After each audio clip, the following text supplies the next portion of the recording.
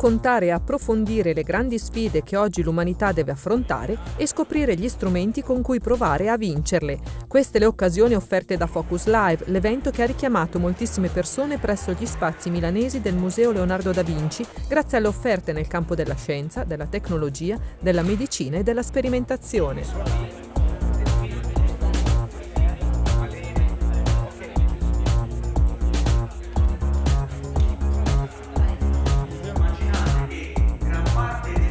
Abbiamo la fortuna di aver organizzato questa manifestazione che è la prima volta che facciamo, che si chiama Focus Live, eh, con il Museo della Scienza e della Tecnologia eh, Leonardo, Leonardo, da Vinci di Milano. Il filo conduttore di, di questo evento è come scegliere. Per scegliere bisogna sapere e per sapere bisogna guardare, bisogna rendersi conto di quello che abbiamo sotto gli occhi e che spesso non riusciamo a intuire o a capire.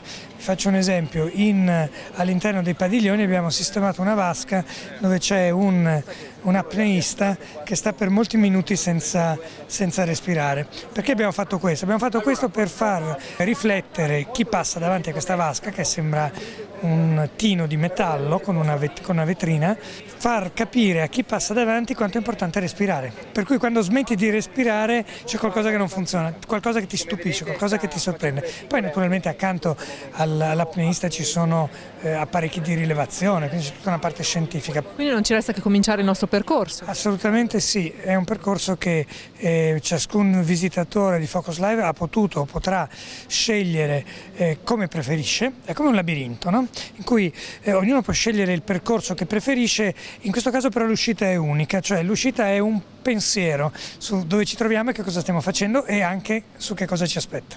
Grazie, dunque cominciamo, andiamo.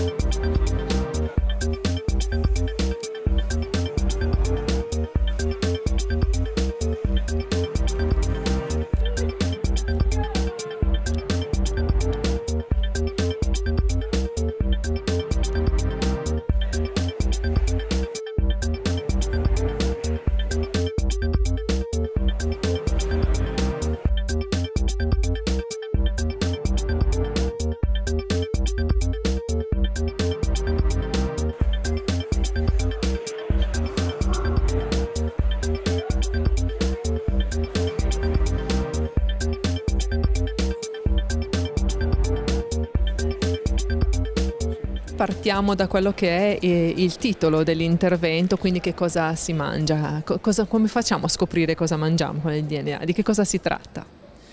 Beh, si tratta di utilizzare il DNA come marcatore eh, per controllare quali sono le materie prime utilizzate per appunto produrre questi alimenti. Quindi per entrare un po' nello specifico?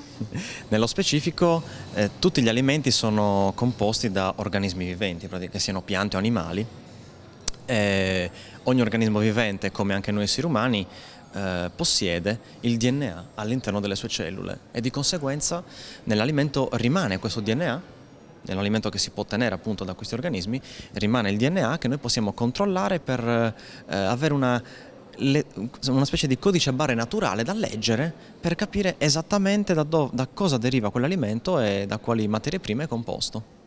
Quindi mm, parliamo ad esempio, so, di una verdura, proviamo a fare un esempio concreto. Qual quali sono i passaggi?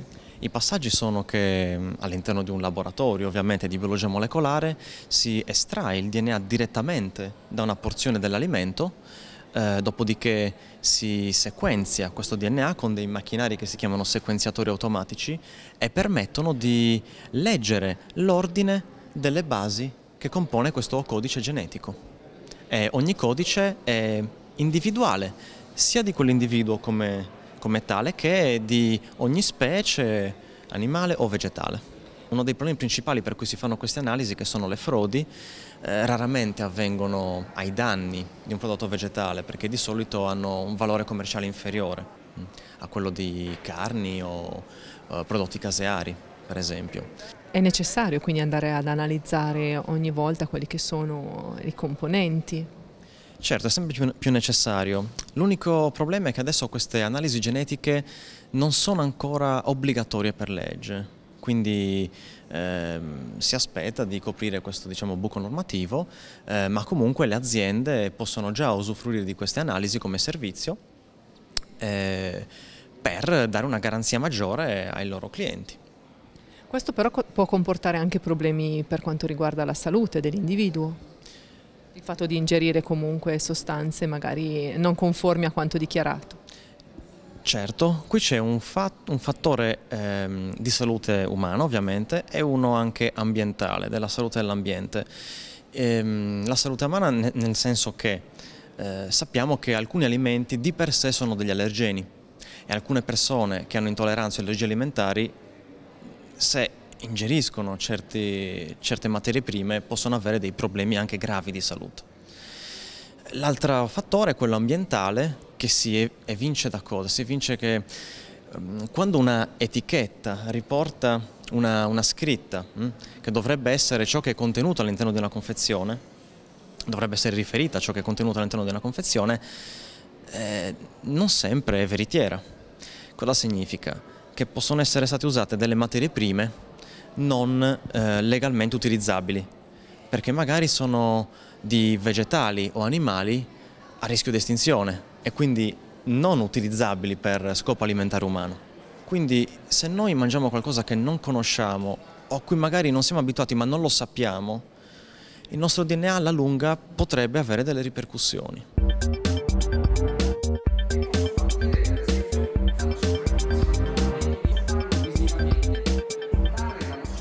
Neve e il ghiaccio in alcune aree del pianeta registrano quello che è stata la composizione dell'atmosfera del passato e quindi registrano in maniera molto fedele i cambiamenti climatici che sono avvenuti decine, centinaia, migliaia, addirittura centinaia di migliaia di anni fa. Abbiamo dei siti in, in giro per il mondo, soprattutto in Antartide o in Groenlandia, che registrano la, la, temperatura e le forzanti climatiche, quindi la concentrazione di gas serra, addirittura per 800.000 anni. Quello che vediamo qua cos'è? Questo è un carottiere, è un sistema che utilizziamo proprio per prelevare i campioni di neve e ghiaccio, in questo caso superficiali, vuol dire fino a una profondità di circa una ventina di metri. La, il, il, tubo carottiere taglia eh, la, la, neve e il ghiaccio e fa entrare il, il campione all'interno del, del, del, tubo stesso che poi viene prelevato, datato e studiato eh, attraverso analisi, metodi di analisi chimiche. Che cosa emerge, è emerso da questi studi, anche perché di gas serra si parla molto anche oggi? Ma è emerso, ad esempio, per quanto riguarda i gas serra, eh, è stato proprio grazie allo studio sulle carote di ghiaccio che abbiamo capito che le concentrazioni attuali di gas serra in atmosfera sono, state, eh, sono non hanno mai avuto un precedente nella storia climatica del nostro pianeta, nel, almeno negli ultimi 800.000 anni e quindi stiamo veramente spostando il, il, sistema del nostro pianeta in una condizione che non ha mai avuto prima fino, fino all'epoca all industriale dove le concentrazioni di anidride carbonica sono aumentate inesorabilmente da circa 280 parti per milione fino alle attuali oltre 400 parti per milione. I cambiamenti climatici purtroppo li vediamo, anche gli effetti soprattutto vediamo anche recentemente. Ma ormai è acclarato che eh, le elevate concentrazioni di gas serra eh, siano le responsabili dell'aumento di temperatura, abbiamo circa un grado di temperatura media eh, globale eh, rispetto all'epoca all preindustriale,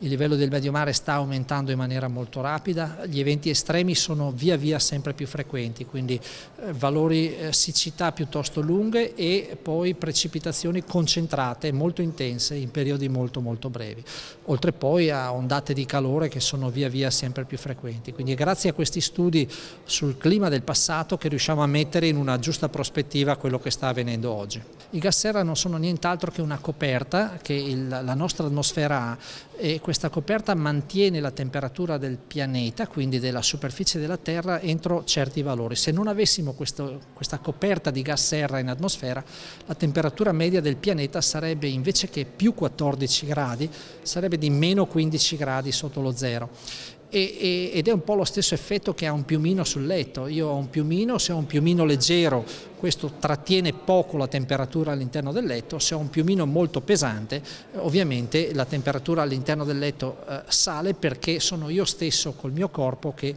riscaldo l'ambiente che viene mantenuto da questo strato isolante. Quindi eh, se io aumento la quantità di piume o aumento la concentrazione di gas in atmosfera, aumento la temperatura del letto, ma aumento la temperatura anche della, della Terra nel, nella, nella corrispondenza.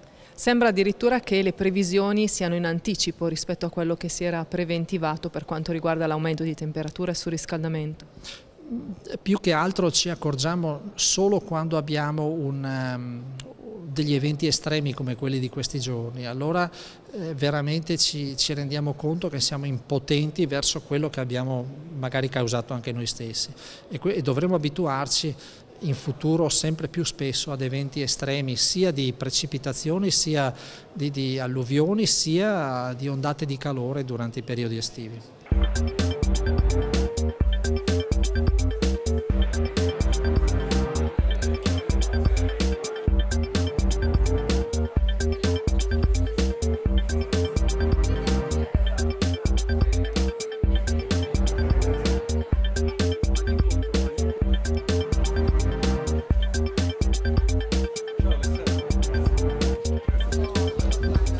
Buon pomeriggio Alessandro. Buon pomeriggio a voi.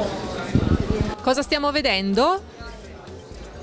In questo momento io sono un eh, specialista in un ospedale e mi sto collegando in un altro ospedale per fare una televisita o un teleconsulto. Quindi questo è molto utile in ambito medico? Esatto, viene utilizzato negli ospedali e soprattutto in corsia. Grazie, grazie mille. Grazie a voi.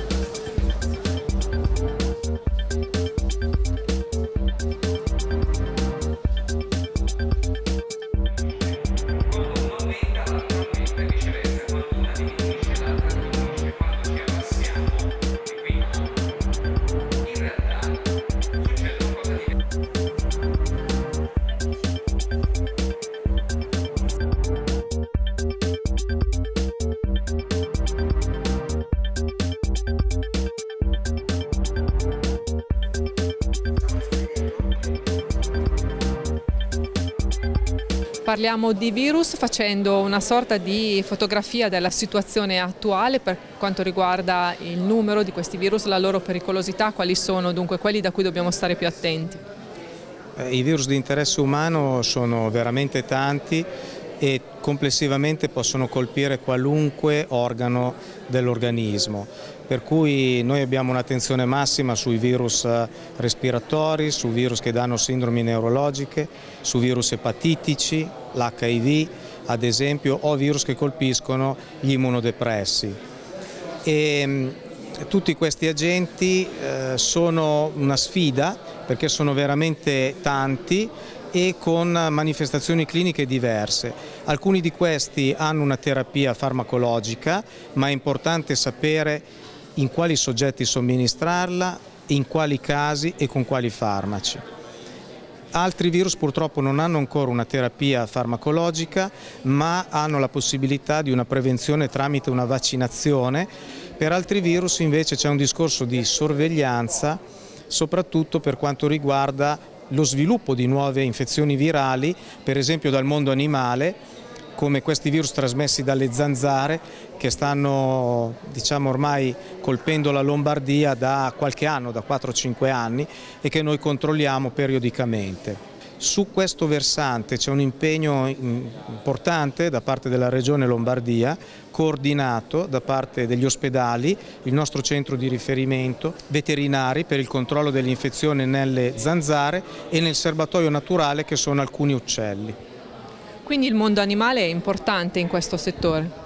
Assolutamente sì, il mondo animale è il punto di, di partenza di tutte le infezioni che poi vengono viste nell'uomo per esempio l'influenza noi siamo abituati a, a, conoscere i ceppi che circolano tutti gli anni, l'H1N1, l'H3N2 che sono solo alcune delle, delle influenze che circolano eh, al mondo, dobbiamo pensare che esistono più di 200 tipi di influenza diverse, di, di, genotipi di influenza A e che circolano nel mondo animale, quindi i riassortimenti e questi, eh, questi cambi eh, genetici all'interno di questi virus possono poi in qualche modo fare il passaggio di specie, saltare all'uomo e creare del, degli eventi anche eh, pandemici che al momento noi non possiamo in qualche modo prevedere. La lezione del 2005 dove il virus H5N1 era quello che noi potevamo considerare essere il più letale perché era un virus aviario con una alta mortalità e che aveva dato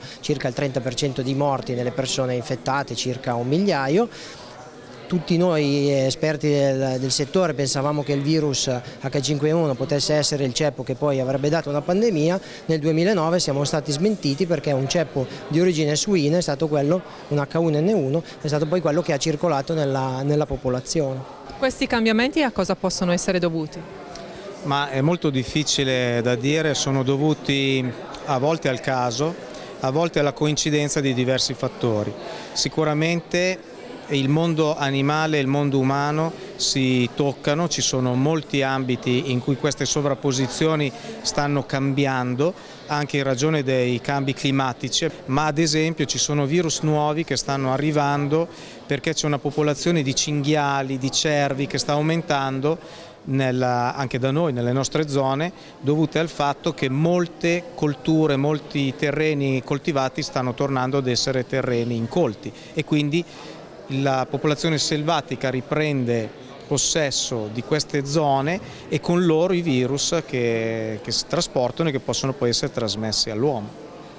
Qual è il modo più pericoloso in cui possono essere trasmessi o il più efficace tra virgolette in questo caso?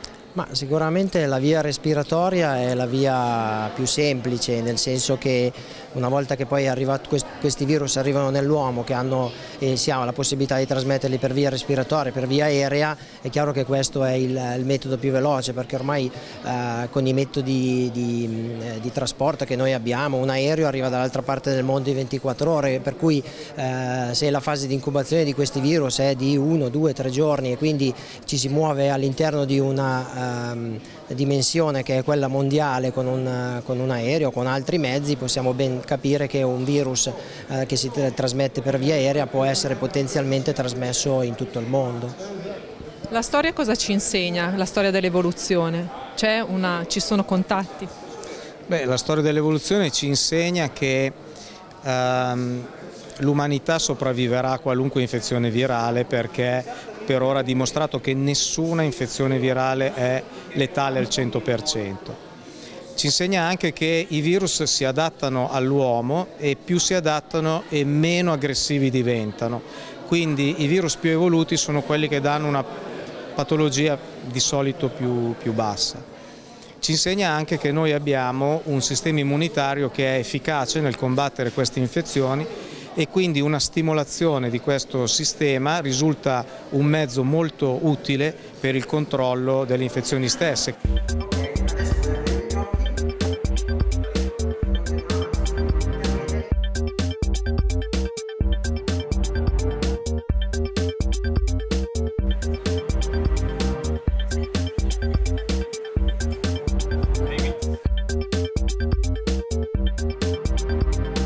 Nostra tradizione culturale abbiamo sempre avuto la tendenza a distinguere quello che è corpo e quello che è mente come due domini separati. In realtà oggi eh, le nuove conoscenze scientifiche che ci permettono di studiare come il corpo influenza l'attività del cervello stanno dimostrando che la mente è eh, sempre influenzata dalle informazioni che arrivano dal corpo, in particolare il sistema gastrointestinale, quindi tutto quello che succede dallo stomaco fino all'intestino ha influenza sui nostri processi emotivi e decisionali. Abbiamo due sistemi quindi nel nostro modo di decidere, dei sistemi più eh, puramente razionali che dipendono dalla corteccia cerebrale, cioè dalla parte del cervello più eh, recente dal punto di vista evolutivo e dei processi decisionali cosiddetti processi di pancia che dipendono invece dall'attività di tutte, da questa informazione che deriva dal, dal resto del corpo. La cosa interessante è capire quando possiamo fidarci dei nostri istinti di pancia e quando invece è meglio lasciare stare e usare solo la nostra mente razionale per prendere decisioni.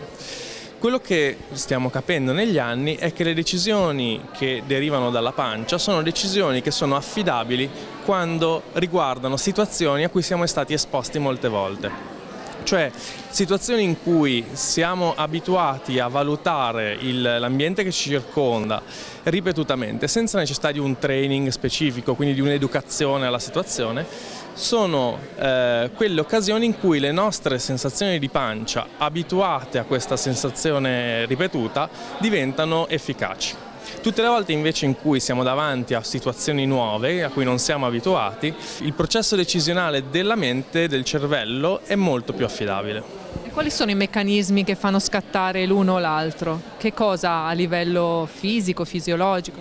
Allora, le decisioni di pancia sono, derivano dall'integrazione di tutte le informazioni del corpo perché nel nostro processo evolutivo ci siamo abituati a prepararci a una serie di risposte eh, di fuga per esempio o di attacco a seconda della situazione. Quindi il nostro cervello è abituato a capire molto rapidamente se una situazione è positiva o negativa, richiede una, una reazione di fuga o una reazione di attacco o nessuna reazione. Tutti I nostri processi di decisione di pancia quindi funzionano sempre. A volte la mente razionale prende in considerazione questi input, a volte decide di scartarli come informazioni non rilevanti.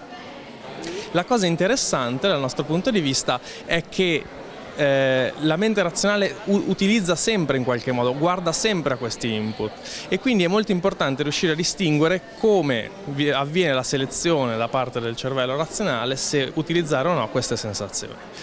Per noi la cosa interessante dal punto di vista divulgativo è analizzare le diverse eh, situazioni a cui la gente eh, viene esposta e tentare un percorso per comprendere quando e quali tipi di situazioni siano analizzabili con la pancia e quali no.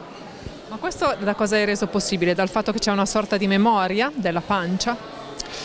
La memoria sì, ma non sta nella pancia, sta nel cervello, cioè sta in quelle aree che ricevono le informazioni da tutto il corpo. Adesso io mi sono concentrato sulla pancia anche perché è la parte su cui sappiamo di più ed è quella su cui lavoro io nello specifico al San Raffaele di Milano ma in realtà l'integrazione avviene da informazioni che arrivano da tutto il corpo e la memoria viene costruita generando, registrando ripetute volte le informazioni di tutto il corpo alle situazioni che ci circondano. Questo riguarda diversi tipi di emozioni, dalla paura a quelle invece positive? Esatto, tutte le emozioni, per quanto ne sappiamo ora, si sono evolute come un modo di rappresentare queste informazioni che derivano dal corpo, tutte le emozioni. Poi ovviamente nella nostra strada evolutiva complessa in cui abbiamo sviluppato cervelli complessi abbiamo imparato a utilizzare le emozioni anche per altre cose, quindi anche per esprimere sentimenti, relazioni sociali eccetera. Ma di base tutte le emozioni sembrano essere la rappresentazione di quello che il nostro corpo sta facendo. Oggi stiamo finalmente capendo che il sistema gastrointestinale influenza l'attività del cervello e quindi influenza l'attività del sistema di controllo di tutto il corpo. Quindi quello che stiamo tentando di fare è attraverso una stimolazione adeguata del sistema gastrointestinale riuscire a influenzare il sistema immunitario, il sistema metabolico e quindi agire su quelle grandi patologie tipo ehm, autoimmunitarie, degenerative o metaboliche come diabete e obesità attraverso un meccanismo nuovo, cioè tentando di trovare una strada diversa da quello che è stato fatto finora, che in alcuni casi è stato molto efficace e in altri meno.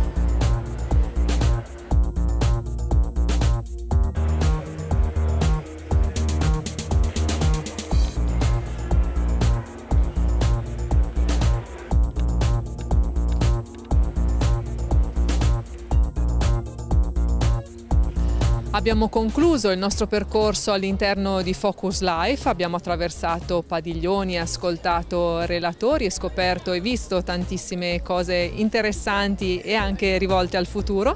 Grazie a tutti i protagonisti di questo spazio, grazie come sempre a tutti voi per averci seguito e arrivederci.